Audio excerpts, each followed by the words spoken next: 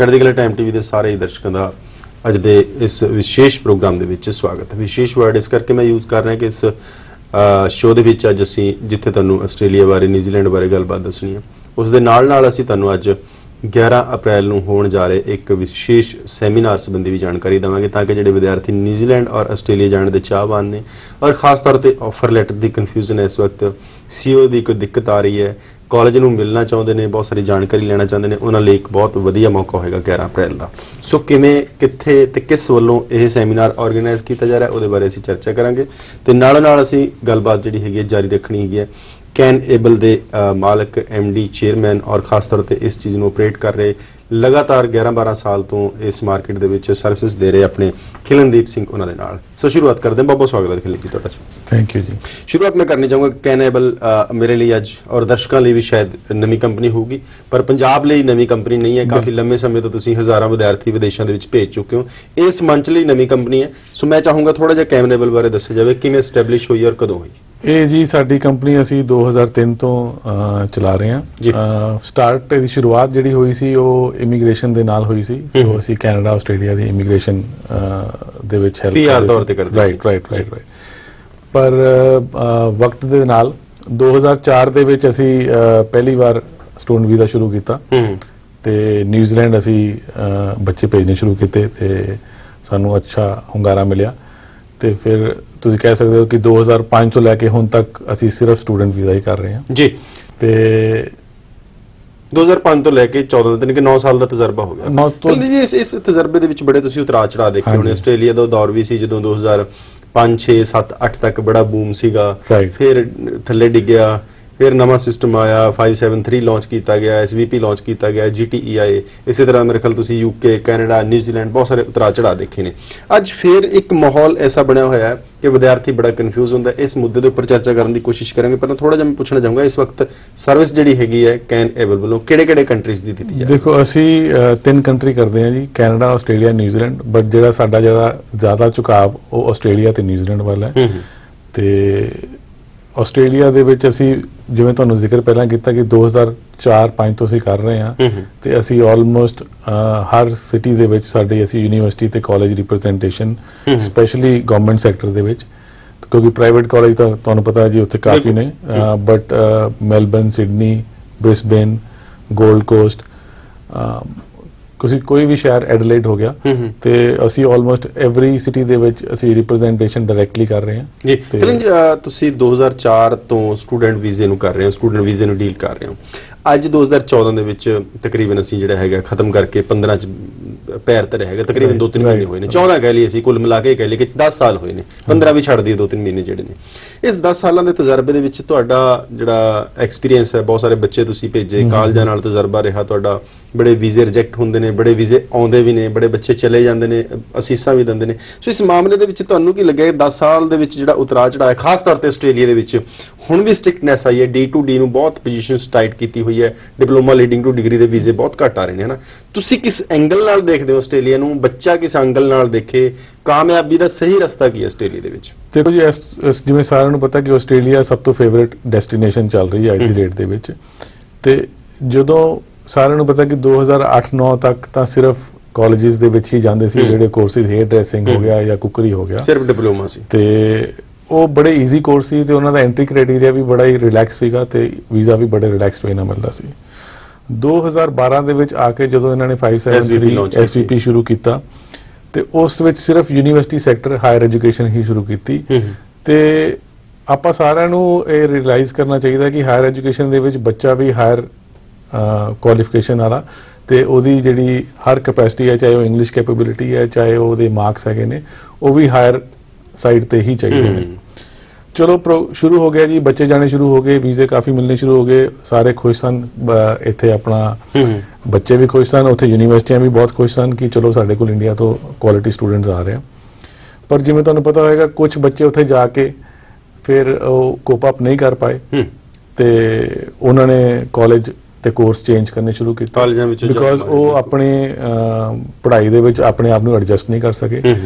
ਜਿਸ ਕਾਰਨ ਆਸਟ੍ਰੇਲੀਆ ਨੂੰ ਇਹ ਚੀਜ਼ ਪਸੰਦ ਨਹੀਂ ਆਈ ਹਜ਼ਮ ਨਹੀਂ ਹੋਈ। ਤੇ ਉਹਨਾਂ ਨੂੰ ਇਸ ਚੀਜ਼ ਦੇ ਉੱਤੇ ਸਟ੍ਰਿਕਨੈਸ ਵਧਾਣੀ ਸ਼ੁਰੂ ਕੀਤੀ। ਤੇ ਉਹਦਾ ਸਟ੍ਰਿਕਟਨੈਸ ਦਾ ਕਾਰਨ ਇਹ ਹੈ ਕਿ ਜਿਨ੍ਹਾਂ ਦੇ ਮਾਰਕਸ ਅੱਛੇ ਨਹੀਂ ਹੈਗੇ ਆਈਲੈਟ ਸਕੋਰ ਸਪੈਸ਼ਲੀ ਠੀਕ ਹੈ ਨਾ ਜੀ? ਪੰਜ ਬੈਂਡ ਵਾਲੇ ਬੱਚੇ ਜਾਣੇ ਸ਼ੁਰੂ ਹੋ ਗਏ ਸੀਗੇ। ਤੇ ਬਾਕੀ ਜਿਵੇਂ ਤੁਸੀਂ ਪਹਿਲਾਂ ਜ਼ਿਕਰ ਕੀਤਾ ਕਿ D2D ਦੀ ਵੀ ਸਖਤੀ ਹੈ ਸਖਤੀ D2D ਵਿੱਚ ਮੈਂ ਨਹੀਂ ਕਹਾਂਗਾ। ਆਲਮੋਸਟ ਕਿਉਂਕਿ D2D ਦੇ ਵਿੱਚ ਸਖਤੀ ਕਿਉਂ ਹੈ ਕਿਉਂਕਿ ਡਿਪਲੋਮਾ ਦੇ ਵਿੱਚ ਐਂਟਰੀ ਕ੍ਰਾਈਟੇਰੀਆ ਲੋ ਹੁੰਦਾ ਹੈ।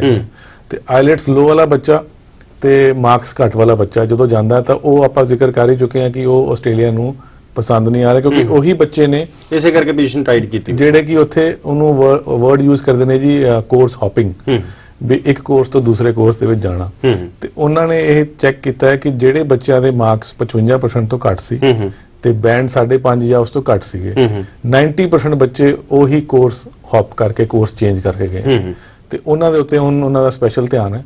ਤੇ ਅਸੀਂ ਬੱਚਿਆਂ ਨੂੰ ਹੁਣ ਅਸੀਂ ਜਿਹੜੇ ਬੱਚੇ ਆਉਂਦੇ ਆ ਤਾਂ ਅਸੀਂ ਪਹਿਲਾ ਸਟੈਪ ਹੀ ਹੈ ਕਿ ਉਹਦੇ ਮਾਰਕਸ ਚੈੱਕ ਕਰੀਦੇ ਆ ਵੀ ਕਿੰਨੇ ਮਾਰਕਸ ਹੈਗੇ ਆ। ਪਰਸੈਂਟੇਜ ਤੁਸੀਂ ਕਹਿੰਦੇ ਕਿ ਅੱਜ ਵਿਦਿਆਰਥੀ ਨੂੰ ਆਸਟ੍ਰੇਲੀਆ ਜਾਣ ਤੋਂ ਪਹਿਲਾਂ ਪਹਿਲਾ ਪੁਆਇੰਟ ਬਿਲਕੁਲ ਜੀ, ਬਿਲਕੁਲ ਬਿਲਕੁਲ। ਜੇ ਉਹਦੀ ਪਰਸੈਂਟੇਜ ਘੱਟ ਹੈਗੀ ਹੈ ਤੇ ਮੈਂ ਤਾਂ ਇਹੀ ਕਹਾਂਗਾ ਕਿ ਉਹ ਜੇ ਕੰਸਲਟੈਂਟ ਕੋਈ ਵੀ ਚੰਗਾ ਕੰਸਲਟੈਂਟ ਹੋਏਗਾ ਉਹ ਉਸ ਨੂੰ ਕਹੇਗਾ ਕਿ ਨਹੀਂ ਤੁਸੀਂ ਨਾ ਚਾਂਸ ਲਓ ਨਿਊਜ਼ੀਲੈਂਡ ਵਾਸਤੇ ਤੁਸੀਂ ਟਰਾਈ ਕਰ ਸਕਦੇ ਹੋ। ਤੇ ਮੈਂ ਬਾਰ-ਬਾਰ ਦਰਸ਼ਕਾਂ ਨੂੰ ਇਹ ਕਹਿਣਾ ਚਾਹੂੰਗਾ ਕਿ ਤੁਸੀਂ ਵੀ ਜੇ ਕੋਈ ਚੰਗਾ ਕੰਸਲਟੈਂਟ ਹੈ ਉਹਦੀ ਗੱਲ ਸੁਣੋ। ਸੋ ਜੇ ਉਹ ਕਹਿੰਦਾ ਕਿ ਹਾਂਜੀ ਹੋ ਜਾਏਗਾ ਤਾਂ ਫਿਰ ਟਰਾਈ ਕਰੋ। ਜੇ ਪ੍ਰੈਸ਼ਰਾਈਜ਼ ਕਰੋਗੇ ਤਾਂ ਨੁਕਸਾਨ ਬੱਚਿਆਂ ਦਾ ਹੀ ਹੋ ਸਕਦਾ। ਨਹੀਂ ਵੀਜ਼ਾ ਤਾਂ ਹੁਣ ਜਿਹੜੀ ਇੱਕ ਵੱਡੀ ਸਮੱਸਿਆ ਹੈ ਤੁਹਾਡੇ ਵਰਗੇ ਜਿਹੜੇ ਕਾਫੀ ਲੰਮੇ ਸਮੇਂ ਤੋਂ ਇਸ ਚੀਜ਼ ਨਾਲ ਜੁੜੇ ਹਨ ਤੁਸੀਂ ਵੀ ਇਸ ਚੀਜ਼ ਦਾ ਤਜਰਬਾ ਹੈ ਸਾਡੇ ਨਾਲ ਸ਼ੇਅਰ ਕਰ ਸਕਦੇ ਹੋ। ਵੀਜ਼ਾ ਮੇਰੇ ਖਿਆਲ ਆਸਟ੍ਰੇਲੀਆ 'ਚ ਇੰਨੀ ਵੱਡੀ ਸਮੱਸਿਆ ਨਹੀਂ ਹੈ। ਹੁਣ ਥੋੜੀ ਜਿਹੀ ਆਈ ਹੈ ਚਲੋ ਡੀ ਬਿਲਕੁਲ, ਬਿਲਕੁਲ, ਬਿਲਕੁਲ। ਸਮੱਸਿਆ ਤਾਂ ਸਾਡੀ ਕਾਮਯਾਬੀ ਦੀ ਹੈ। ਦੇਖੋ ਜੀ ਮੈਂ ਬੱਚੇ ਮੇਰੇ ਕੋਲ ਆਂਦੇ ਜੀ ਸਾਡਾ ਵੀਜ਼ਾ ਹੋ ਜਾਏਗਾ ਸਾਡਾ ਵੀਜ਼ਾ ਹੋ ਜਾਏਗਾ। ਮੈਂ ਉਹਨਾਂ ਨੂੰ ਇਹ ਰਾਏ ਦਿੰਦਾ ਮੈਂ ਕਿਹਾ ਜੀ ਬੱਚਿਓ ਅਸੀਂ ਤੁਹਾਡੇ ਕੈਰੀਅਰ ਦੀ ਗੱਲ ਕਰਨੀ ਹੈ। ਤੁਹਾਡੇ ਫਿਊਚਰ ਦੀ ਗੱਲ ਕਰਨੀ ਹੈ। ਜੀ।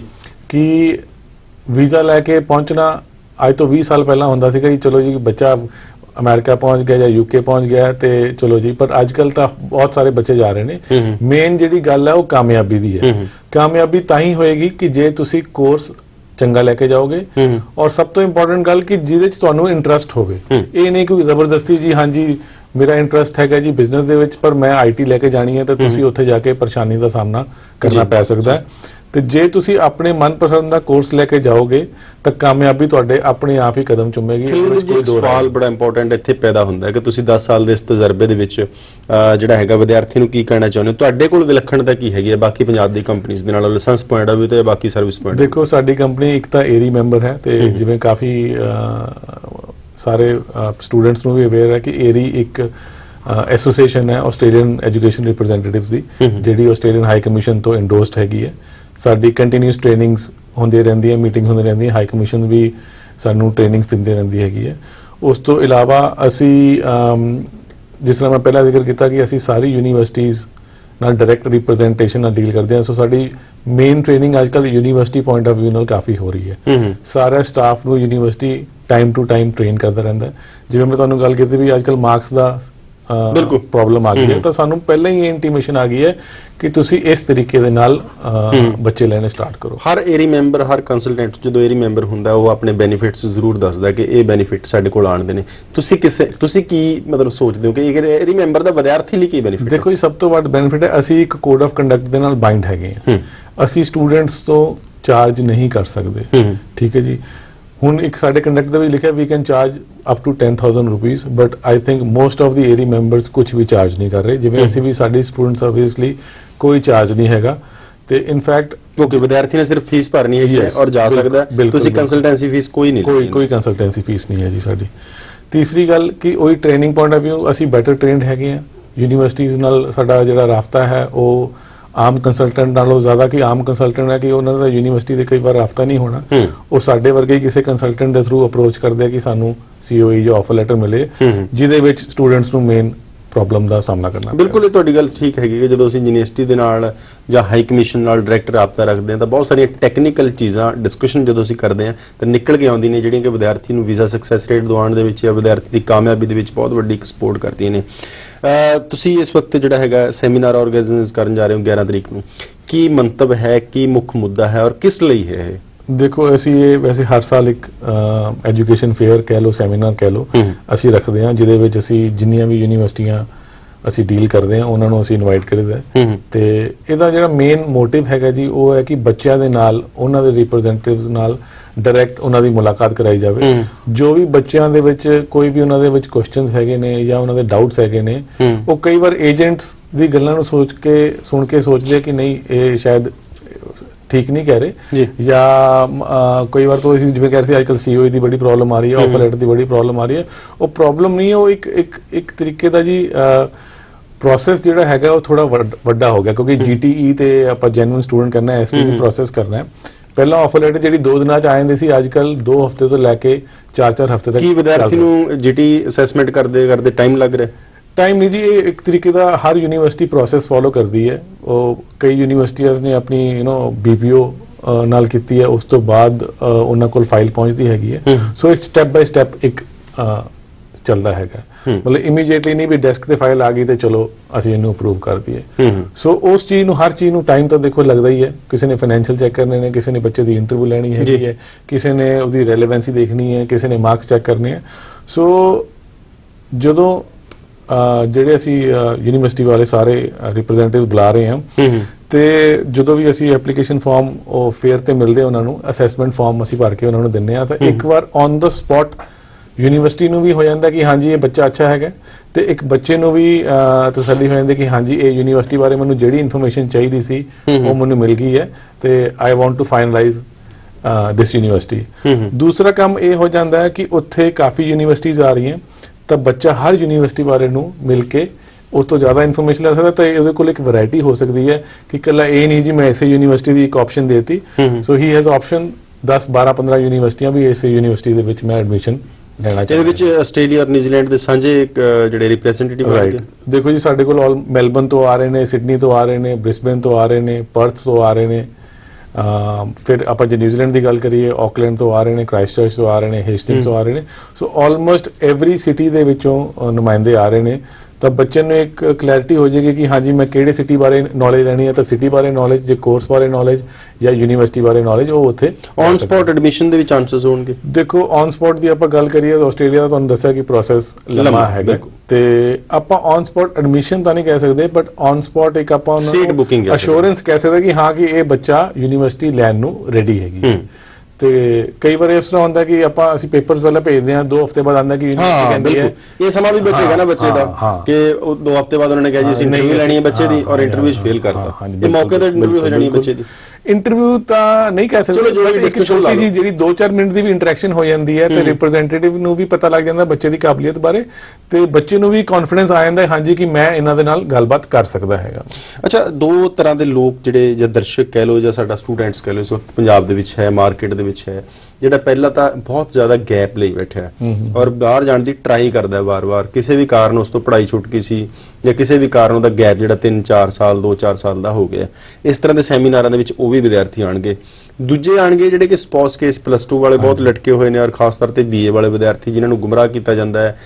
ਵਿਆਹ 1 ਸਾਲ ਪੁਰਾਣਾ ਹੋਵੇ ਵਿਆਹ 2 ਸਾਲ ਪੁਰਾਣਾ ਹੋਵੇ ਵਿਆਹ 6 ਮਹੀਨੇ ਪੁਰਾਣਾ ਹੋਵੇ ਚਾਹੇ ਨਿਊਜ਼ੀਲੈਂਡ ਦੀ ਗੱਲ ਹੋਵੇ ਚਾਹੇ ਆਸਟ੍ਰੇਲੀਆ ਦੀ ਹੋਵੇ। ਸੋ ਐਸੇ ਵਿਦਿਆਰਥੀਆਂ ਲਈ ਕਿੰਨਾ ਕੁ ਤੁਸੀਂ ਸਪੋਰਟਿਵ ਹੋ? ਦੇਖੋ ਜੀ ਅਸੀਂ ਗੈਪ ਦੀ ਵੀ ਪਰਿਭਾਸ਼ਾ ਹੁੰਦੀ ਹੈ। ਗੈਪ ਹੁੰਦਾ ਹੈ ਕਿ ਤੁਸੀਂ ਪੜ੍ਹਾਈ ਤੋਂ ਬਾਅਦ ਕੁਝ ਵੀ ਨਹੀਂ ਕੀਤਾ।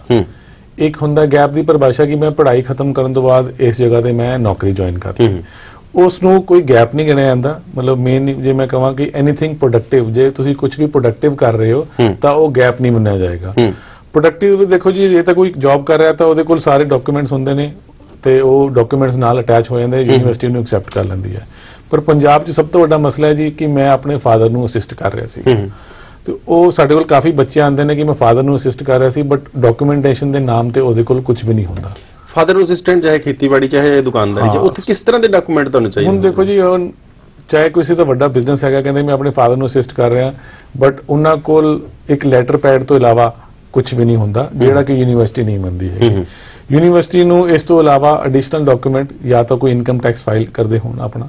ਠੀਕ ਹੈ ਜੀ? ਅੱਛਾ ਸੈਪਰੇਟ ਹਾਂ ਬਿਲਕੁਲ ਬਿਲਕੁਲ। ਕਿਉਂਕਿ ਹਰ ਬੰਦੇ ਦੀ ਆਇਡੈਂਟੀਟੀ ਹੈਗੀ ਹੈ ਤੇ ਉਸ ਨੂੰ ਆਪਣੀ ਆਇਡੈਂਟੀਟੀ ਨੂੰ ਪ੍ਰੂਵ ਕਰਨ ਲਈ ਡਾਕੂਮੈਂਟੇਸ਼ਨ ਦੀ ਲੋੜ ਹੈਗੀ ਹੈ। ਸੋ ਜੇ ਖੇਤੀਬਾੜੀ ਕਰਦੇ ਹੈਗੇ ਆ ਤਾਂ ਆਪਾਂ ਖੇਤੀਬਾੜੀ ਲਈ ਵੀ ਆਪਣੇ ਕਈ ਹੱਲ ਨੇ ਕਿ ਜਾਂ ਤਾਂ ਕਿ ਉਹ ਜੇ ਫਾਰਮ ਉਹਨਾਂ ਦੇ ਨਾਮ ਤੇ ਹੋਣ। ਤੇ ਜਾਂ ਆਪਣੇ ਆਪਾਂ ਪਿੰਡ ਦੇ ਵਿੱਚ ਸਰਪੰਚ ਹੁੰਦੇ ਨੇ ਜਾਂ ਹੋਰ ਵੱਡੇ ਪੋਜੀਸ਼ਨ ਤੇ ਜੋ ਵੀ ਹੈਗੇ ਨੇ ਉਹਨਾਂ ਤੋਂ ਵੀ ਇੱਕ ਰੈਫਰੈਂਸ ਲੈਟਰ ਲਿੱਤੀ ਜਾ ਸਕਦੀ ਹੈ ਕਿ ਅਸੀਂ ਇਸ ਬੰਦੇ ਨੂੰ ਜਾਣਦੇ ਹਾਂ ਤੇ ਇਹ ਇੰਨੀ ਦੇਰ ਤੋਂ ਆਪਣੇ ਫਾਦਰ ਨੂੰ ਅਸਿਸਟ ਕਰ ਰਿਹਾ ਹੈ। ਅੱਛਾ ਰੈਫਰੈਂਸ ਲੈਟਰ ਵੀ ਚੱਲ ਸਕਦਾ। ਰਾਈਟ ਰਾਈਟ ਬਟ ਇਹ ਵੀ ਡਿਪੈਂਡ ਕਰਦਾ ਹੈ ਕਿਉਂਕਿ ਯੂਨੀਵਰਸਿਟੀਜ਼ ਤੁਹਾਨੂੰ ਪਤਾ ਅੱਜ ਕੱਲ ਅਹ, ਪੰਜਾਬ ਸਪੈਸ਼ਲੀ ਪੰਜਾਬ ਦੇ ਵਿੱਚ ਬਿਲਕੁਲ, ਯੂ نو ਬਿਲਕੁਲ। ਬਹੁਤ ਸਟ੍ਰਿਕਟ ਹੋ ਕੇ ਚੱਲ ਰਹੀਆਂ ਨੇ ਕਿਉਂਕਿ ਫਰਾਡੂਲੈਂਟ ਐਕਟੀਵਿਟੀ ਬਹੁਤ ਜ਼ਿਆਦਾ ਹੈਗੀ ਹੈ। ਤੇ ਉਹਨਾਂ ਨੂੰ ਅਸੀਂ ਕਿਵੇਂ ਡਿਸਟਿੰਗੁਇਸ਼ ਕਰੀਏ ਕਿ ਇਹ ਫਰਾਡ ਨਹੀਂ ਹੈ ਸੱਚ ਹੈ ਇਹ ਇਸ ਨੂੰ ਸਮਾਂ ਬਿਲਕੁਲ ਲੱਗ ਇਹ ਸਕਦਾ ਬਿਲਕੁਲ ਬਿਲਕੁਲ ਤੁਹਾਡੀ ਗੱਲ ਠੀਕ ਹੈਗੀ ਹੈ। ਕਿ ਇੱਕ ਚੰਗੇ ਔਰ ਮਾੜੇ ਦੀ ਪਰਖ ਲਈ ਕੰਸਲਟੈਂਟਸ ਲਈ ਵੀ ਔਖਾ ਹੈ ਯੂਨੀਵਰਸਿਟੀ ਦਾ ਸ਼ੱਕ ਕਰਦੀ ਕਰਦੀ ਡਾਊਟ ਕਰਦੀ ਹੈ। ਸੋ ਉਹਦੇ ਲਈ ਜਸਟੀਫਾਈ ਕਰਨਾ ਕਿ ਕਿੰਨਾ ਕੁ ਸੱਚਾ ਕੈਂਡੀਡੇਟਸ ਹੈਗਾ ਕਿੰਨਾ ਕੁ ਸੱਚਾ ਸਟੂਡੈਂਟਸ ਹੈਗਾ। ਬਹੁਤ ਔਖਾ ਇੱਕ ਮੁਸ਼ਕਲ ਵਾਲਾ ਕੰਮ ਹੈ। ਪਰ ਉਸ ਮਾਮਲੇ ਦੇ ਵਿੱਚ ਜਿਹੜੇ ਤੁਹਾਡੇ ਕਾਗਜ਼ ਹੀ ਬੋਲਦੇ ਨੇ ਸੋ ਤੁਹਾਡੇ ਕੋਲ ਕਾਗਜ਼ ਜਿਹੜੇ ਨੇ ਹੋਣੇ ਚਾਹੀਦੇ ਨੇ। ਜੇ ਤੁਸੀਂ ਆਪਣੇ ਮਾਪਿਆਂ ਨਾਲ ਖੇਤੀਬਾੜੀ ਦੇ ਵਿੱਚ ਹੱਥ ਵਟਾ ਰਹੇ ਹੋ ਤਾਂ ਘੱਟੋ ਘੱਟ ਜੇ ਫਾਰਮ ਆਪਣੇ ਨਾਮ ਤੇ ਅੱਜ ਦੀ ਅੱਜ ਹੀ ਕਰਾਉਣਾ ਸ਼ੁਰੂ ਕਰ ਦਿਓ ਜੇ ਸਾਲ ਬਾਅਦ ਵੀ ਤੁਸੀਂ ਜਾਣਾ ਹੈਗਾ। ਔਰ ਜਿਹੜੇ ਬੱਚੇ ਦੁਕਾਨਦਾਰੀ ਦੇ ਵਿੱਚ ਨੇ ਰਿਟਰਨਸ ਵਗੈਰਾ ਭਰੋ ਕੁਝ ਨਾ ਕੁਝ ਕਾਗਜ਼ ਪੱਤਰ ਤਿਆਰ ਕਰੋ। ਅੱਜ ਨਿਊਜ਼ੀਲੈਂਡ ਦੇ ਮਾਮਲੇ ਦੇ ਵਿੱਚ ਵੀ ਬਹੁਤ ਬੱਚਾ ਕਨਫਿਊਜ਼ ਹੈ, ਬਹੁਤ ਗਲਤ ਪਰਿਭਾਸ਼ਾ ਦੇ ਵਿੱਚ ਐਡਵਰਟਾਈਜ਼ਮੈਂਟ ਪੰਜਾਬ ਚ ਆਉਂਦੀ ਹੈ ਜੀ। ਕੋਈ 올ਡ ਫੰਡ ਦੀ ਜ਼ਰੂਰਤ ਨਹੀਂ ਕੋਈ ਪੁਰਾਣੀ ਮੈਰਿਜ ਦੀ ਜ਼ਰੂਰਤ ਨਹੀਂ ਸਪਾਊਸ ਕੇਸ ਐਕਸੈਪਟੇਬਲ ਜਲਦੀ ਵੀਜ਼ਾ ਲੱਗੂਗਾ ਸਾਡੀ ਕੰਪਨੀ ਵੱਲੋਂ। ਬਹੁਤ ਮੋਹਿਤ ਕਰਨ ਲਈ ਪੰਜਾਬ ਦੇ ਵਿੱਚ ਵਿਗਿਆਪਨ ਜਿਹੜੇ ਨੇ, ਬਹੁਤ ਵੱਡੇ ਪੱਧਰ ਤੇ ਵਿਦਿਆਰਥੀਆਂ ਨੂੰ ਬਰਬਾਦ ਕਰ ਰਹੇ ਨੇ, ਘਰਾਂ ਨੂੰ ਬਰਬਾਦ ਕਰ ਰਹੇ ਨੇ। ਸੋ ਤੁਸੀਂ ਇੱਕ ਚੰਗੀਆਂ ਸੰਜੀਦਾ ਕੰਪਨੀ ਦੇ ਵਿੱਚ ਆਉਂਦੇ ਹੋ, ਤੁਸੀਂ ਇਸ ਤਰ੍ਹਾਂ ਦੀ ਐਡਵਰਟਾਈਜ਼ਮੈਂਟ ਵਿਗਿਆਪਨ ਨੂੰ ਕਿਵੇਂ ਦੇਖਦੇ ਹੋ? ਕਿ ਵਿਦਿਆਰਥੀ ਵਿਚਾਰਾ ਪ੍ਰਭਾਵਿਤ ਹੋ ਕੇ ਚਲੇ ਜਾਂਦਾ ਕੰਸਲਟੈਂਟਸ ਕੋਲ, ਹਨਾ? ਸੋ ਇੱਕ ਦਿਨ ਪੁਰਾਣਾ ਵਿਆਹ ਕਿੰਨਾ ਕੁ ਐਕਸੈਪਟੇਬਲ ਹੈ ਦੇਖੋ ਜੀ ਨਿਊਜ਼ੀਲੈਂਡ ਮੈਂ ਕਹਾਂਗਾ ਕਿ ਨਿਊਜ਼ੀਲੈਂਡ ਮੈਂ, ਕਾਫੀ ਲਾਈਕ ਕਰਦਾ ਨਿਊਜ਼ੀਲੈਂਡ ਨੂੰ। 2004 ਦੇ ਵਿੱਚ ਮੈਂ ਪਹਿਲੀ ਵਾਰ ਨਿਊਜ਼ੀਲੈਂਡ ਗਿਆ ਸੀਗਾ ਤੇ ਬਹੁਤ ਹੀ ਵਧੀਆ ਕੰਟਰੀ ਹੈ ਜੀ ਬਟ ਉਹਦੀ ਜਿਹੜੀ ਮਾਰਕੀਟਿੰਗ ਜਿਹੜੀ ਹੋਈ ਹੈ ਉਹ ਇਸ ਤਰੀਕੇ ਨਾਲ ਪਿਛਲੇ 1-2 ਸਾਲਾਂ ਦੇ ਵਿੱਚ ਇਸ ਤਰੀਕੇ ਨਾਲ ਤੁਹਾਡੀ ਗੱਲ ਨਾਲ ਮੈਂ ਸਹਿਮਤ ਹਾਂ। ਕਿ ਗਲਤ ਤਰੀਕੇ ਨਾਲ ਮਾਰਕੀਟਿੰਗ ਹੋਦੀ ਹੋ ਗਈ ਹੈ। ਦੇਖੋ ਜੀ ਜਿੱਥੇ ਤੱਕ ਵਨ ਡੇ 올ਡ ਫੰਡ ਦੀ ਗੱਲ ਹੈਗੀ ਹੈ ਉਹ ਉਹ ਨਿਊਜ਼ੀਲੈਂਡ ਹਾਈ ਕਮਿਸ਼ਨ ਉਹਨੂੰ ਐਕਸੈਪਟ ਕਰਦੀ ਹੈ ਜਿਹੜੀ ਉਹਨਾਂ ਦੀ ਐਫਟੀਐਸ ਸਕੀਮ ਹੈਗੀ ਹਾਂ ਹੈ। ਫੰਡ ਟ੍ਰਾਂਸਫਰ ਸਕੀਮ ਤੇ ਉਹਦੇ ਵਿੱਚ ਤਾਂ ਉਹ ਉਹਨਾਂ ਨੂੰ ਕੋਈ ਪ੍ਰੋਬਲਮ ਨਹੀਂ ਹੈਗੀ ਚਾਹੇ ਵਨ ਡੇ 올ਡ ਹੋਣ ਚਾਹੇ ਕਿਸੇ ਹੋਰ ਥਰਡ ਪਾਰਟੀ ਵੀ ਸ਼ੋ ਕਰ ਰਹੀ ਹੈ। ਬਟ ਜਿਹੜਾ ਅੱਜਕੱਲ ਸਭ ਤੋਂ ਵੱਡਾ ਮੁੱਦਾ ਆ ਰਿਹਾ ਜੀ ਵਿਦਆਊਟ ਆਈਲੈਟਸ ਦਾ ਮੁੱਦਾ ਆ ਰਿਹਾ ਹੈਗਾ। ਤੇ ਉਹਦੇ ਵਿੱਚ ਬੜੇ ਸਾਰੇ ਸਟੂਡੈਂਟਸ ਵਿਦਆਊਟ ਆਈਲੈਟਸ ਅਪਲਾਈ ਕਰਦੇ ਨੇ ਤੇ ਕਈਆਂ ਦੀ ਡਿਕਲਾਈਨ ਆਂਦੀ ਹੈ ਤੇ ਸਾਡੇ ਕੋਲ ਆਂਦੇ ਵੀ ਦੱਸੋ ਹੁਣ ਕੀ ਕਰੀਏ। ਉਹਦੇ ਵਿੱਚ ਜੋ ਕਲੀਅਰ ਹਾਈ ਕਮਿਸ਼ਨ ਵੱਲੋਂ ਹੁਣ ਆਪ ਸਾਨੂੰ ਇੰਡੀਕੇਸ਼ਨ ਆਈ ਹੈ ਕਿ ਉਹ ਸੀਬੀਐਸਈ ਆਈਸੀਐਸਈ ਪਾਸ ਆਊਟਸ ਬੱਚਿਆਂ ਨੂੰ ਤਾਂ ਵਿਦਆਊਟ ਆਈਲੈਟਸ ਲੈਣ ਨੂੰ ਤਿਆਰ ਨੇ। ਉਹ ਵੀ ਉਹਨਾਂ ਦੇ ਜਿਵੇਂ ਮਾਰਕਸ ਇੰਗਲਿਸ਼ ਦੇ ਵਿੱਚ 60 65 70 ਇਸ ਤਰੀਕੇ ਦੇ ਸਲੋਟਸ ਦੇ ਵਿੱਚ ਹੋਣ। ਤਾਂ ਪੰਜਾਬ ਬੋਰਡ ਜਾਂ ਐਨੀ ਅਦਰ ਸਟੇਟ ਬੋਰਡ ਚਾਹੇ ਹਰਿਆਣਾ ਬੋਰਡ ਹੈ ਚਾਹੇ ਹਿਮਾਚਲ ਬੋਰਡ ਹੈ ਉਹਨੂੰ ਉਹ ਇੰਗਲਿਸ਼ ਵਿਦਆਊਟ ਆਈਲੈਟਸ ਨੂੰ ਉਹ ਇੰਗਲਿਸ਼ ਦੇ ਵਿੱਚ ਪਹਿਲੀ ਗੱਲ ਤਾਂ ਮਾਰਕਸ ਦੇਖਣੇ ਚਾਹੀਦੇ ਨੇ। ਹੁਣ ਜਿਹੜੇ ਬੱਚੇ ਦੇ ਮਾਰਕਸ ਹੀ ਅ, 40 ਜਾਂ 45 ਨੇ 100 ਦੇ ਵਿੱਚੋਂ ਉਹਨੂੰ ਵਿਦਆਊਟ ਆਈਲੈਟਸ ਕੇਸ ਲਗਾਉਣ ਦਾ। ਨਹੀਂ ਫਾਇਦਾ ਹੂੰ। ਜੇ ਸਟੇਟ ਬੋਰਡ ਦੇ ਵਿੱਚ ਤੁਹਾਡੇ ਮਾਰਕਸ 70 80% ਹੈਗੇ ਨੇ। ਫਿਰ ਹੀ ਆਪਾਂ ਵਿਦਆਊਟ ਆਈਲੈਟਸ ਕਰੀਏ। ਬਟ ਕੰਸਲਟੈਂਟ ਕੀ ਕਰ ਰਿਹਾ ਜੀ? ਨਾ ਉਹਨਾਂ ਨੇ ਮਾਰਕਸ ਤੇ ਨਾ ਕੁਝ ਕਰਨੇ ਆ ਜੀ। ਆਪਣੇ ਆਪ ਹੀ ਇੰਗਲਿਸ਼ ਦੀ ਲੈਟਰਾਂ ਮੈਨੂਫੈਕਚਰ ਐਮਓਆਈ ਤਿਆਰ ਕਰਤਾ ਬਸ। ਤੇ ਬਸ ਉਹ ਲਗਾ ਰਹੇ ਨੇ ਤੇ ਤੁਸੀਂ ਮੰਨੋਗੇ ਨਹੀਂ ਕਾਫੀ ਬੱਚੇ ਇਸ ਤਰੀਕੇ ਦੇ ਆਏ ਕਿ ਉਹਨਾਂ ਨੂੰ ਪਤਾ ਹੀ ਨਹੀਂ ਕਿ ਇੰਟਰਵਿਊ ਵੀ ਉਹਨਾਂ ਦੀ ਕਿਸੇ ਨੇ ਹੋਰ ਨੇ ਦਿੱਤੀ ਹੈ। ਤੇ ਉਹਨਾਂ ਦੀ ਜਦੋਂ ਰਿਫਿਊਜ਼ਲ ਲੈਟਰ ਆਈ ਉਹਦੇ ਵਿੱਚ ਲਿਖਿਆ ਹੈ ਕਿ ਸਾਨੂੰ ਸ਼ੱਕ ਹੋਇਆ ਕਿ ਤੁਸੀਂ ਇੰਟਰਵਿਊ ਨਹੀਂ ਦਿੱਤੀ ਤੇ ਅਸੀਂ ਤੁਹਾਡਾ ਕੇਸ ਡਿਕਲਾਈਨ ਕਰ ਰਹੇ ਹਾਂ। ਤੇ ਚਲੋ ਹੁਣ ਬੱਚੇ ਕਹਿੰਦੇ ਕਿ ਸਾਡਾ ਨੁਕਸਾਨ ਇਹ ਹੋਇਆ ਕਿ ਸਾਡੀ ਫੀਸ ਤਾਂ ਗਈ ਨਹੀਂ ਪਰ ਮੈਂ ਕਹਿ ਰਿਹਾ ਜੀ ਇੱਕ ਕੰਟਰੀ ਤੁਹਾਡੇ ਲਈ ਹਮੇਸ਼ਾ ਲਈ ਬੰਦ ਹੋ ਗਿਆ। ਹੂੰ। ਜਿਹੜੀ ਕਿ ਬਿਲਕੁਲ ਸਹੀ ਗੱਲ ਨਹੀਂ ਹੈਗੀ। ਤੇ ਆਉਣ ਵਾਲੇ ਸਮੇਂ ਦੇ ਵਿੱਚ ਜੋ ਫੀਡਬੈਕ ਹੈ ਕਿ ਆਪਸ ਦੇ ਵਿੱਚ ਕਾਫੀ ਕੰਟਰੀ ਇਹ ਡਾਟਾ ਸ਼ੇਅਰ ਕਰਨਗੇ ਤੇ ਕੱਲ ਨੂੰ ਕੋਈ ਪਤਾ ਨਹੀਂ ਕਿ ਤੁਹਾਡਾ ਡਾਟਾ ਕਿਸੇ ਹੋਰ ਕੰਟਰੀ ਆਸਟ੍ਰੇਲੀਆ ਕੈਨੇਡਾ ਦਾ ਨਾਲ ਸ਼ੇਅਰ ਹੋ ਜਾਏ ਤਾਂ ਤੁਸੀਂ ਜਦੋਂ ਉੱਥੇ ਵੀ ਅਪਲਾਈ ਕਰੋਗੇ ਤਾਂ ਤੁਹਾਡੀ ਇਸ ਚੀਜ਼ ਬਾਰੇ ਉਹਨਾਂ ਨੂੰ ਪਤਾ ਲੱਗ ਸਕਦਾ। ਸੇਮ ਚੀਜ਼ ਆਸਟ੍ਰੇਲੀਆ 'ਚ ਹੋ ਰਹੀ ਹੈ। ਮੈਂ ਇਸ ਕਰਕੇ ਤੁਹਾਡਾ ਲਾਹਾ ਉਠਾ ਰਿਹਾ ਕਿ ਤੁਸੀਂ ਇਹਦੀ ਮੈਂਬਰ ਹੋ ਔਰ ਖਾਸ ਤੌਰ ਤੇ ਹਾਈ ਕਮਿਸ਼ਨ ਔਰ ਯੂਨੀਵਰਸਿਟੀ ਨਾਲ ਡਾਇਰੈਕਟ ਜੁੜੇ ਹੋਏ ਹੋ। ਬਹੁਤ ਪੰਜਾਬ ਦੇ ਵਿੱਚ ਫਾਈਲਾਂ ਐਸੀ ਨੇ। ਪਰਸਨਲ ਤੌਰ ਤੇ ਮੈਨੂੰ ਵੀ ਬੜੇ ਫੋਨ ਆਉਂਦੇ ਨੇ ਬੜੇ ਫੇਸਬੁੱਕ ਦੇ ਉੱਪਰ ਲੋਕਾਂ ਦੇ ਮੈਸੇਜ ਆਉਂਦੇ ਨੇ ਜੀ ਮੇਰੀ ਫਾਈਲ ਫਸੀ ਨੂੰ 5 ਮਹੀਨੇ ਹੋ ਗਏ। ਕੋਈ ਕਹਿੰਦਾ ਮੇਰੀ ਹਾਈ ਕਮਿਸ਼ਨ ਚ ਪਈ ਉਹਨਾਂ ਨੇ ਸੀਓਈ ਦੁਆਰਾ ਮੰਗ ਲਈ ਸੀ ਕੋਈ ਕਹਿੰਦਾ ਮੇਰੀ ਐਲਈ 10 ਹਫ਼ਤਿਆਂ ਦੀ ਸੀ ਹੁਣ ਕਹਿੰਦੇ ਜੀ 20 ਦੀ ਲਾਉਣੀ ਹੈ ਕੀ ਇਹ ਸੱਚ ਹੈ? ਇਹ ਕਿਵੇਂ ਹੋ ਰਿਹਾ ਦੇਖੋ ਜੀ ਮੈਂ ਤੇ ਕਿਉਂ ਹੋ ਰਿਹਾ ਪੰਜ ਮਹੀਨੇ ਦਾ ਮੈਂ ਨਹੀਂ ਸਮਝਦਾ ਕਿ ਕੋਈ ਐਪਲੀਕੇਸ਼ਨ 7-7 ਮਹੀਨੇ ਕਿਲਨਦੀਪ ਜੀ ਦੇਖੋ ਜੀ, ਇਸ ਤਰ੍ਹਾਂ ਦੀਆਂ ਕੇਸਸ ਫਸੇ ਹੋਏ ਨੇ ਦੇ ਐਸਵੀਪੀ ਹੈ ਕਿ ਨਾਨ ਐਸਵੀਪੀ ਹੈ ਇਹ ਵੀ ਆਪਾਂ ਨੂੰ ਚੈੱਕ ਕਰਨਾ ਪਏਗਾ। ਕਿਉਂਕਿ ਜਿਹੜੀ ਐਸਵੀਪੀ ਐਪਲੀਕੇਸ਼ਨ ਔਰ ਟਾਪ ਪ੍ਰਾਇੋਰਟੀ ਤੇ ਲਿੱਤੀ ਜਾਂਦੀ ਹੈਗੀ। ਤੇ ਉਹਨਾਂ ਦਾ 5 ਮਹੀਨੇ ਮੰਨਣਾ ਤਾਂ ਮੈਂ ਨਹੀਂ ਮੰਨ ਸਕਦਾ ਹਾਂ ਨਾਨ ਕੀ ਕਾਰਨ ਹੈ? ਫਿਰ ਇੱਥੇ ਏਜੰਟ ਦੀ ਗਲਤੀ ਹੈ ਫਾਲਟ ਹੈ। ਦੇਖੋ ਜੀ ਹੁਣ ਪ੍ਰੋਸੈਸ ਨਹੀਂ ਹੋ ਰਹੀ। ਬੇਸਿਕਲੀ ਬੱਚਿਆਂ ਦੇ ਵਿੱਚ ਜਿਹੜੇ ਬੱਚੇ ਆਉਂਦੇ ਨਾ ਉਹਨਾਂ ਨੂੰ ਆਪਣੀ ਐਪਲੀਕੇਸ਼ਨ ਦੇ ਬਾਰੇ ਬੜੀ ਘੱਟ ਨੌਲੇਜ ਹੁੰਦੀ ਹੈ। ਕੀ ਪਤਾ ਕਿ ਉਸ ਬੱਚੇ ਦੀ ਕਈ ਵਾਰ ਤਾਂ ਬੱਚੇ ਐਸੇ ਮਿਲਦੇ ਜਿਨ੍ਹਾਂ ਦੀ ਐਪਲੀਕੇਸ਼ਨ ਹਾਈ ਕਮਿਸ਼ਨ ਹੁੰਦੀ ਨਹੀਂ ਤੇ ਏਜੰਟ ਕਹਿੰਦਾ ਕਿ ਉਹ ਹਾਈ ਕਮਿਸ਼ਨ ਦੇ ਵਿੱਚ ਫਾਈਲ ਹੈਗੀ। ਸੀਓਈ ਆਈ ਨਹੀਂ ਹੁੰਦੀ ਉਹ ਕਹਿੰਦੇ ਸੀਓਈ ਆ ਆ ਗਈ। ਸੋ ਅਸੀਂ ਬੱਚੇ ਜਦੋਂ ਸਾਡੇ ਕੋਲ ਵੀ ਇਹੋ ਜਿਹੇ ਕਾਫੀ ਬੱਚੇ ਆਉਂਦੇ ਨੇ ਤੇ ਉਹਨਾਂ ਨੂੰ ਅਸੀਂ ਕਹਿੰਦੇ ਵੀ ਜਦੋਂ ਤੱਕ ਕੋਈ ਡਾਕੂਮੈਂਟੇਸ਼ਨ ਸਾਨੂੰ ਦਿਖਾਓ ਕੋਈ ਫਾਈਲ ਨੰਬਰ ਹੈ ਤੁਹਾਡੇ ਕੋਲ ਜਾਂ ਤੁਹਾਡੇ ਕੋਲ ਸੀਓਈ ਪ੍ਰਿੰਟ ਆਊਟ ਹੈਗੀ ਹੈ ਕਿ ਨਹੀਂ ਹੈਗੀ ਹੂੰ। ਤੇ ਤੁਸੀਂ ਕੋਈ ਡਰਾਫਟ ਐਮਬੈਸੀ ਦੇ ਨਾਮ ਤੇ ਕੋਈ ਫੀਸ ਦਾ ਡਰਾਫਟ ਬਣਾਇਆ ਸੀ। ਤੁਸੀਂ ਖੁਦ ਆਪਣੀ ਫੀਸ ਟ੍ਰਾਂਸਫਰ ਕੀਤੀ ਹੈ ਕਿ ਜਾ ਕੇ ਪੈਸੇ ਸਾਰੇ ਚੱਕ ਕੇ ਏਜੰਟ ਨੂੰ ਦਿੱਤੇ। ਸੋ ਇਸ ਮੋਸਟਲੀ ਤੁਸੀਂ ਦੇਖੋਗੇ ਕਿ ਇਸ ਬੱਚਿਆਂ ਨੇ ਕੀ ਕੀਤਾ ਕਿ ਏਜੰਟ ਨੂੰ ਪੈਸੇ ਦੇ ਦਿੱਤੇ ਆ। ਤੇ ਇਹਨਾਂ ਨੂੰ ਆਪਣੀ ਫਾਈਲ ਦੇ ਬਾਰੇ ਕੋਈ ਨੌਲੇਜ ਨਹੀਂ ਹੂੰ। ਤੇ ਆਸਟ੍ਰੇਲੀਅਨ ਹਾਈ ਕਮਿਸ਼ਨ ਅੱਜਕੱਲ ਬਹੁਤ ਹੀ ਐਫੀਸ਼ੀਐਂਟਲੀ ਫਾਈਲਸ ਨੂੰ ਪ੍ਰੋਸੈਸ ਕਰ ਰਹੀ ਹੈ ਕੋਈ ਫਾਈਲ ਦੇ ਵਿੱਚ ਡਿਲੇ ਨਹੀਂ ਆ ਰਹੇ ਹੈਗੇ ਹਾਂ ਤੁਹਾਡੀ ਗੱਲ ਸਹੀ ਹੈ ਕਿ ਕੁਝ ਯੂਨੀਵਰਸਿਟੀਆਂ ਦੇ ਵਿੱਚ ਪਿੱਛੇ ਪ੍ਰੋਬਲਮ ਆਈ ਸੀ ਤਾਂ ਸੀਓਈ ਉਹਨਾਂ ਨੇ ਕੈਨਸਲ ਕੀਤੇ ਹੈਗੇ ਸਟੂਡੈਂਟਸ ਦੇ। ਉਹ ਉਹੀ ਸਟੂਡੈਂਟਸ ਨੇ ਜਿਨ੍ਹਾਂ ਦੇ ਅਕੈਡਮਿਕਸ ਜਾਂ ਜਿਨ੍ਹਾਂ ਦੇ ਆਇਲਟਸ ਲੋਅਰ ਸਾਈਡ ਤੇ ਸੀਗੇ। ਮੇਰੇ ਕੋਲ ਕਲਿੰਦੀਪ ਜੀ ਜਿਹੜਾ ਤੁਸੀਂ ਸੈਮੀਨਾਰ ਕਰਨ ਜਾ ਰਹੇ ਹੋ ਜਿਹੜੀ ਅਸੀਂ ਗੱਲ ਨਿਊਜ਼ੀਲੈਂਡ ਬਾਰੇ ਕੀਤੀ ਹੈ ਆਸਟ੍ਰੇਲੀਆ ਬਾਰੇ ਕੀਤੀ ਹੈ ਇਹ ਚੀਜ਼ਾਂ ਡਾਟ ਕਲੀਅਰ ਹੋ ਸਕਦੇ ਨੇ। ਕਿਉਂਕਿ ਤੁਸੀਂ ਯੂਨੀਵਰਸਿਟੀ ਦਾ ਨੰਬਰ ਲੈ ਸਕਦੇ ਹੋ ਉੱਥੋਂ ਦੇ ਰਿਪਰੈਜ਼ੈਂਟੇਟਿਵ ਦਾ ਨੰਬਰ ਲੈ ਸਕਦੇ ਹੋ। ਤੁਹਾਨੂੰ ਯੂਨੀਵਰਸਿਟੀ ਬਾਰੇ ਜਾਂ ਕਾਲਜ ਬਾਰੇ ਇਹ ਪਤਾ ਲੱਗ ਜਾਊਗਾ ਕਿ ਕਿੰਨੇ ਟਾਈਮ ਦਾ ਪ੍ਰੋਸੈਸ ਹੈਗਾ ਮੇਰਾ ਐਲੀ ਕੋਰਸ ਕਿੰਨਾ ਲੱਗਣਾ ਹੈਗਾ ਜਾਂ ਸਪੌਸ ਕੇਸ ਹੋਣਾ ਹੈ ਨਹੀਂ ਹੋਣਾ। ਮਤਲਬ ਕਾਫੀ ਚੀਜ਼ਾਂ ਜਿਹੜੀਆਂ ਜੀ, ਜੋ ਤੁਸੀਂ ਤੁਸੀਂ ਚੀਜ਼ਾਂ ਕਹੀਆਂ ਬਿਲਕੁਲ ਉਹੀ ਚੀਜ਼ਾਂ ਨੂੰ ਕਲੈਰਿਟੀ ਕਰਨ ਵਾਸਤੇ ਅਸੀਂ ਇਹ ਸੈਮੀਨਾਰ ਕਰਾ ਰਹੇ ਹੈਗੇ ਤਾਂ ਕਿ ਬੱਚੇ ਨੂੰ ਹਰ ਚੀਜ਼ ਦੀ ਕਲੈਰਿਟੀ ਹੋਵੇ ਪਹਿਲੇ ਤੋਂ ਹੀ ਤੇ ਉਹ ਬੱਚਾ ਏਜੰਟ ਤੋਂ ਬਾਅਦ ਫਿਰ ਬੜੇ ਆਰਾਮ ਨਾਲ ਹਰ ਚੀਜ਼ ਦੇ ਪ੍ਰੋਸੈਸ ਦੇ ਵਿੱਚ ਫੈਲਦਾ ਹੈਗਾ। ਜੇ ਉਸ ਨੂੰ ਇਸ ਚੀਜ਼ ਦੀ ਕਲੈਰਿਟੀ ਨਾ ਹੋਵੇ ਤਾਂ ਇੰਪੇਸ਼ੈਂਟ ਪੰਜਾਬੀਆਂ ਜਿਵੇਂ ਕਹਿੰਦੇ ਆ ਜੀ ਹਰ ਚੀਜ਼ ਦੇ ਵਿੱਚ ਇੰਪੇਸ਼ੈਂਟ ਆ ਵੀ ਅੱਜ ਚੀਜ਼ ਕਰੀਏ ਤੇ ਕੱਲ ਮੈਨੂੰ ਮਿਲ ਜਾਵੇ। ਉਹ ਤਾਂ ਪੋਸੀਬਲ ਨਹੀਂ ਹੈਗੀ ਬਟ ਹਾਂ ਮੈਂ ਦੇਖਿਆ ਕਿ ਜਦੋਂ ਯੂਨੀਵਰਸਿਟੀ ਵਾਲੇ ਆਉਂਦੇ ਆ ਜਦੋਂ ਸਟੂਡੈਂਟਸ ਉਹਨਾਂ ਨੂੰ ਮਿਲਦੇ ਆ ਤੇ ਉਹਨਾਂ ਦੀ ਕਾਫੀ ਕਲੈਰਿਟੀ ਹੋਣ ਤੋਂ ਬਾਅਦ ਉਹ ਪੇਸ਼ੈਂਟਲੀ ਕੰਮ ਕਰਦੇ ਆ। ਤੇ ਉਹ ਉੱਥੇ ਜਾ ਕੇ ਬੈਟਰ ਸਟੂਡੈਂਟਸ ਵੀ ਹੁੰਦੇ ਕਿਉਂਕਿ ਉਹਨਾਂ ਨੂੰ ਉਸ ਯੂਨੀਵਰਸਿਟੀ ਬਾਰੇ ਕੋਰਸ ਬਾਰੇ ਇੱਥੇ ਪਹਿਲਾਂ ਹੀ ਨੌਲੇਜ ਮਿਲ ਜਾਂਦੀ ਹੈ। ਜੀ ਕਿਲਨਦੀਪ ਜੀ ਅੱਜ ਪਹਿਲਾਂ ਨਿਊਜ਼ੀਲੈਂਡ ਦੀ ਗੱਲ ਕਰਾਂ। ਕਿਸ ਇਨਟੇਕ ਲਈ ਤੁਸੀਂ ਹੁਣ ਕਿਵੇਂ ਪ੍ਰੋਸੈਸ ਕਰ ਰਹੇ ਹੋ? ਕਿਵੇਂ ਸੱਦਾ ਦੇ ਰਹੇ ਹੋ ਬੱਚਿਆਂ ਨੂੰ? ਇੱਕ ਚੰਗੀ ਚੰਗੀ ਨੌਲੇਜ ਵਾਸਤੇ ਬਤੌਰ ਤੁਸੀਂ ਇੱਕ 10 ਸਾਲ ਦੇ ਤਜਰਬੇ ਦੇ ਵਿੱਚੋਂ ਵਿਦਿਆਰਥੀ ਨੂੰ ਕਿਵੇਂ ਲਾਹਾ ਦੇ ਰਹੇ ਹੋ? ਦੇਖੋ ਜੀ ਨਿਊਜ਼ੀਲੈਂਡ ਦੇ ਵਿੱਚ ਟੋਟਲ 21 22 ਗਵਰਨਮੈਂਟ ਕਾਲਜਸ ਹੈਗੇ ਨੇ ਅਸੀਂ ਉਹ ਸਾਰੇ ਰਿਪਰੈਜ਼ੈਂਟ ਕਰਦੇ ਹੈਗੇ ਆ ਤੇ ਹੁਣ ਜੁਲਾਈ ਵਾਸਤੇ ਨੈਕਸਟ ਗਵਰਨਮੈਂਟ ਕਾਲਜਸ ਜੁਲਾਈ ਵਿੱਚ ਸਟਾਰਟ ਹੋ ਰਹੇ ਨੇ। ਪਰ ਪ੍ਰਾਈਵੇਟ ਕਾਲਜਸ ਦੇ ਤੁਹਾਨੂੰ ਪਤਾ ਹੈ ਜੀ ਸਾਲ ਦੇ ਵਿੱਚ 5-6 ਇਨਟੇਕਸ ਹੁੰਦੇ ਨੇ। ਕਈ ਵਾਰ ਮੈਂ ਤੁਹਾਡੇ ਸ਼ੋਅ ਦੇ ਵਿੱਚ ਦੇਖਿਆ ਸੀ ਵੀ ਕਈ ਕੰਸਲਟੈਂਟਸ ਕਹਿ ਰਹੇ ਨੇ ਕਿ ਪ੍ਰਾਈਵੇਟ ਕਾਲਜਸ ਦੇ ਵਿੱਚ ਨਾ ਜਾਓ ਸਿਰਫ ਗਵਰਨਮੈਂਟ ਕਾਲਜ ਜਾਓ। ਨੋ ਡਾਊਟ ਗਵਰਨਮੈਂਟ ਕਾਲਜਸ ਦੀ ਕੁਆਲਿਟੀ ਜ਼ਿਆਦਾ ਬੈਟਰ ਬੈਟਰ ਹੁੰਦੀ ਹੈ। ਬਟ ਸਾਰੇ ਪ੍ਰਾਈਵੇਟ ਕਾਲਜਸ ਵੀ ਆਪਾਂ ਜਿਵੇਂ ਪੰਜ ਉਂਗਲਾਂ ਬਰਾਬਰ ਹੁੰਦੀਆਂ। ਨੇ ਬਹੁਤ ਸਾਰੇ ਅੱਛੇ ਪ੍ਰਾਈਵੇਟ ਕਾਲਜਸ ਵੀ ਹੈਗੇ ਨੇ। ਜਿਹੜੇ ਕਿ ਗਵਰਨਮੈਂਟ ਫੰਡਡ ਹੈਗੇ ਨੇ। ਗਵਰਨਮੈਂਟ ਫੰਡਡ ਦਾ ਮਤਲਬ ਉਹਨਾਂ ਨੂੰ ਗਵਰਨਮੈਂਟ ਪੈਸਾ ਦਿੰਦੀ ਹੈ ਤੇ ਉੱਥੋਂ ਦਾ ਲੋਕਲ ਸਟੂਡੈਂਟ ਵੀ ਉੱਥੇ ਜਾ ਕੇ ਪੜਦਾ ਹੈਗਾ। ਤੇ ਅਸੀਂ ਉਹ ਵੀ ਪ੍ਰਾਈਵੇਟ ਕਾਲਜਸ ਕਰਦੇ ਹੈਗੇ ਆ ਤੇ ਹਾਂ good and bad private colleges ਦੀ ਤੁਹਾਡੀ ਗੱਲ ਸਹੀ ਹੈ ਕਿ ਬੱਚੇ ਨੂੰ ਡਿਸਟਿੰਗੁਇਸ਼ ਕਰਨਾ ਬੜਾ ਔਖਾ ਹੋ ਜਾਂਦਾ ਹੈ ਕਿ ਕਿਹੜਾ ਚੰਗਾ ਕਾਲਜ ਹੈ ਕਿਹੜਾ ਮਾੜਾ ਕਾਲਜ ਹੈ। ਤੇ ਉਹ ਵੈਬਸਾਈਟਸ ਦੇ ਉੱਤੇ ਇਨਫੋਰਮੇਸ਼ਨ ਮਿਲੇਗੀ, ਸਾਡੇ ਕੋ ਆਫਿਸ ਆ ਕੇ ਇਨਫੋਰਮੇਸ਼ਨ ਮਿਲੇਗੀ ਪਲੱਸ ਜਦੋਂ ਤੁਸੀਂ ਸੈਮੀਨਾਰ ਤੇ ਆਓਗੇ, ਤੇ ਤੁਹਾਨੂੰ ਉੱਥੇ ਹੋਰ ਕਲੈਰਿਟੀ ਹੋਏਗੀ ਵੀ ਕਿਹੜਾ ਕਾਲਜ ਕਿਸ ਤਰੀਕੇ ਦਾ ਮੈਂ ਇਹੀ ਸੁਜੈਸਟ ਕਰੂੰਗਾ ਗਵਰਨਮੈਂਟ ਕਾਲਜਸ ਵਿੱਚ ਜਾਓ ਪਲੱਸ ਜਿਹੜੇ ਗਵਰਨਮੈਂਟ ਫੰਡਡ ਪ੍ਰਾਈਵੇਟ ਕਾਲਜਸ ਨੇ, ਉਹਨਾਂ ਦੇ ਵਿੱਚ ਵੀ ਸੇਮ ਸੇਮ ਕੁਆਲਿਟੀ ਜਾਂ ਤੁਸੀਂ ਇਹ ਕਹ ਲਓ ਕਿ 19 21 ਦਾ ਹੀ ਫ਼ਰਕ ਹੈ, ਇਸ ਤੋਂ ਜ਼ਿਆਦਾ ਫ਼ਰਕ ਨਹੀਂ ਹੈਗਾ। ਜੀ ਚੱਲਦੇ ਚੱਲਦੇ ਸਿਰਫ ਇੱਕ ਚੀਜ਼ ਜੀ ਤੁਹਾਨੂੰ ਦੱਸ ਦਈਏ 11 ਅਪ੍ਰੈਲ ਨੂੰ ਇੱਕ ਸੈਮੀਨਾਰ ਜਿਹੜਾ ਕੀਤਾ ਜਾ ਰਿਹਾ ਪਾਰਕ ਪਲਾਜ਼ਾ ਲੁਧਿਆਣਾ ਤਹਿਤ, ਜਿਸ ਦੇ ਵਿੱਚ ਯੂਨੀਵਰਸਿਟੀਜ਼ ਅਤੇ ਕਾਲਜਸ ਦੋਵੇਂ ਰਲ ਮਿਲ ਕੇ ਆਸਟ੍ਰੇਲੀਆ ਔਰ ਨਿਊਜ਼ੀਲੈਂਡ ਵੱਲੋਂ ਮਿਸਟਰ ਕਿਲਨਦੀਪ ਉਹਨਾਂ ਦੀ ਰਹਿਨਮਾਈ ਦੇ ਵਿੱਚ ਕੈਨੇਬਲ ਕੰਪਨੀ ਵੱਲੋਂ ਜਿਹੜਾ ਸੈਮੀਨਾਰ ਕਰਵਾਇਆ ਜਾ ਰਿਹਾ ਜਿਹਦੇ ਵਿੱਚ ਮੇਰਾ ਮੈਂ ਪਰਸਨਲ ਤੌਰ ਤੇ ਇਸ ਚੀਜ਼ ਨੂੰ ਮਹਿਸੂਸ ਕਰਦਾ ਕਿ ਬੱਚਿਆਂ ਨੂੰ ਛੋਟੇ ਛੋਟੇ ਸਵਾਲ ਨੇ ਜਿਹੜੇ ਕਈ ਵਾਰੀ ਏਜੰਟਸ ਕੋਲ ਆਣਾ ਪੈਂਦਾ ਏਜੰਟਸ ਫਿਰ ਮੇਲ ਪਾਉਂਦਾ ਹੈ ਕਾਲਜ ਨੂੰ ਫਿਰ ਯੂਨੀਵਰਸਿਟੀ ਨੂੰ ਮੇਲ ਪਾਉਂਦਾ ਹੈ ਫਿਰ ਵਾਪਸ ਆਉਂਦੀਆਂ ਇਹ ਚੀਜ਼ਾਂ ਤੋਂ ਬਚਿਆ ਜਾ ਸਕਦਾ ਮੇਰੇ ਖਿਆਲ ਇਸ ਤਰ੍ਹਾਂ ਦੇ ਕਾਲਜ ਤੇ ਯੂਨੀਵਰਸਿਟੀਆਂ ਵੀ ਆ ਰਹੀਆਂ ਹੋਣਗੀਆਂ ਜਿਨ੍ਹਾਂ ਤੋਂ ਅਸੀਂ ਜੇ ਡਿਪਲੋਮਾ ਲੀਡਿੰਗ ਟੂ ਡਿਗਰੀ ਜਾਣਾ ਹੈ, ਤਾਂ ਡਿਪਲੋਮਾ ਵੀ ਉਹਨਾਂ ਦੇ ਵਿੱਚ ਹੀ ਹੋਣਾ ਯੂਨੀਵਰਸਿਟੀ ਦਾ- ਆਪਣਾ ਕੈਂਪਸ ਹੈਗਾ। ਸਾਡੇ ਕੋਲ ਇੱਕ ਗਰੁੱਪ ਹੈ ਜੀ ਕਾਫੀ ਵੱਡਾ ਗਰੁੱਪ ਹੈ। ਉਹਨਾਂ ਦੇ ਡਿਪਲੋਮਾ ਟੂ ਡਿਗਰੀ ਹੈ ਤੇ ਉਹਨਾਂ ਦੇ ਜਿਹੜੇ ਕੈਂਪਸ ਨੇ ਉਹ ਯੂਨੀਵਰਸਿਟੀ ਦੇ ਵਿੱਚ ਹੀ ਨੇ। ਇਹ ਬੜਾ ਫਾਇਦਾ ਹੈ ਮੇਰੇ ਖਿਆਲ। ਹਾਂ। ਕਿਉਂਕਿ ਜਿਹੜੇ ਜਿਹਨਾਂ ਦੇ ਕਾਲਜ ਵੱਖਰਾ ਹੈ ਯੂਨੀਵਰਸਿਟੀ ਵੱਖਰੀ ਹੈ ਉੱਥੇ ਆਫਰ ਲੈਟਰ ਨੂੰ ਵੀ ਦੇਰੀ ਹੋ ਰਹੀ ਹੈ ਸੀਓ ਨੂੰ ਵੀ ਦੇਰੀ ਹੋ ਰਹੀ ਹੈ ਔਰ ਵੀਜ਼ਾ ਦੇ ਵਿੱਚ ਵੀ ਮੇਰੇ ਖਿਆਲ ਸਮੱਸਿਆ ਆ ਸਕਦੀ ਹੈ। ਬਿਲਕੁਲ ਪਲੱਸ ਇਹ ਕਿ ਸਟੂਡੈਂਟ ਨੂੰ ਇਹ ਕਿ ਅੱਜ ਮੈਂ ਡਿਪਲੋਮਾ ਇੱਥੇ ਕਰ ਰਿਹਾ ਜਾਂ ਯੂਨੀਵਰਸਿਟੀ ਮੇਰੀ 15 ਕਿਲੋਮੀਟਰ ਦੂਰ ਹੈ ਪਲੱਸ ਕਾਲਜ ਦੀਆਂ ਜਿਹੜੀ ਫੈਸਿਲਿਟੀਆਂ ਹੁੰਦੀਆਂ ਉਹ ਘੱਟ ਹੁੰਦੀਆਂ ਯੂਨੀਵਰਸਿਟੀ ਦੀ ਫੈਸਿਲਿਟੀਆਂ ਜ਼ਿਆਦਾ ਹੁੰਦੀਆਂ। ਸੋ ਜਿਹੜਾ ਬੱਚਾ diploma leading to degree same university college ਜਾ ਰਿਹਾ ਉਹਨੂੰ ਯੂਨੀਵਰਸਿਟੀ ਦੀ ਸਾਰੀ ਫੈਸਿਲਿਟੀਆਂ ਮਿਲਦੀਆਂ ਨੇ।